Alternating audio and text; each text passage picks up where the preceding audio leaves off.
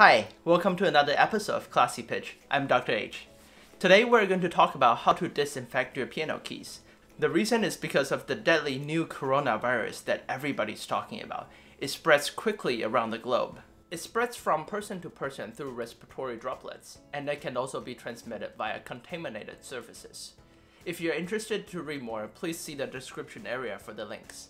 For us musicians, even if we're afraid of getting sick, it's really not a choice to stop practicing. If you don't have your own piano and you practice at school where everyone shares pianos, then you need to start disinfecting your pianos. And before you start disinfecting your piano keys, you need to wash your hands first. Wash your hands with soap and warm water for 30 seconds. And how long is 30 seconds? Good question. Just sing happy birthday for three times. That's about 30 seconds. And don't forget to do the same after you practice. To disinfect your piano keys, there are two things that you need. A piano cloth and a cleaning solution. You can either make your own cleaning solution with 25% of white vinegar and 75% of water, or just use 90% rubbing alcohol that you can buy in any drugstores. Just so it's easier to control the amount, I put the alcohol into a spraying bottle. So I can just spray the rubbing alcohol onto my cloth to dampen my cloth to clean the piano. To clean the keys, dampen your cloth first and wipe the keys vertically. And wipe the white keys first, then the black keys. One thing to keep in mind is not to use alcohol to wipe your keys if they are ivory. To differentiate between plastic and ivory keys is very easy. With ivory keys, each key has two parts. Otherwise, most of the keys are plastic. After we learn how to clean the keys, there are five things that you shouldn't do while cleaning the keys. First, do not use chemical-based cleaners or polish.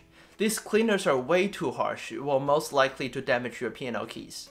Second, do not use paper towels. Use a lint-free cloth so it won't leave any residue.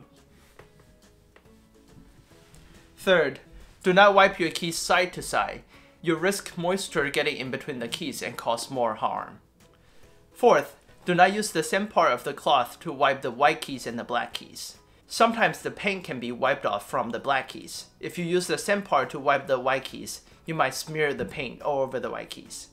Fifth, do not spray disinfectants.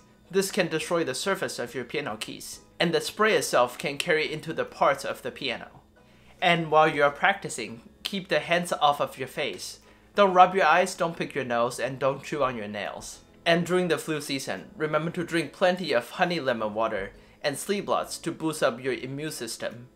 That's it for today's episode. Please share this video with your fellow musicians, and please share your tips of staying healthy in the comment area below. As always, if you have any questions, you can email me at classypitch at gmail.com. You can also find me on Instagram at classypitch. Thanks for watching. Stay healthy, stay classy, and go clean your piano keys.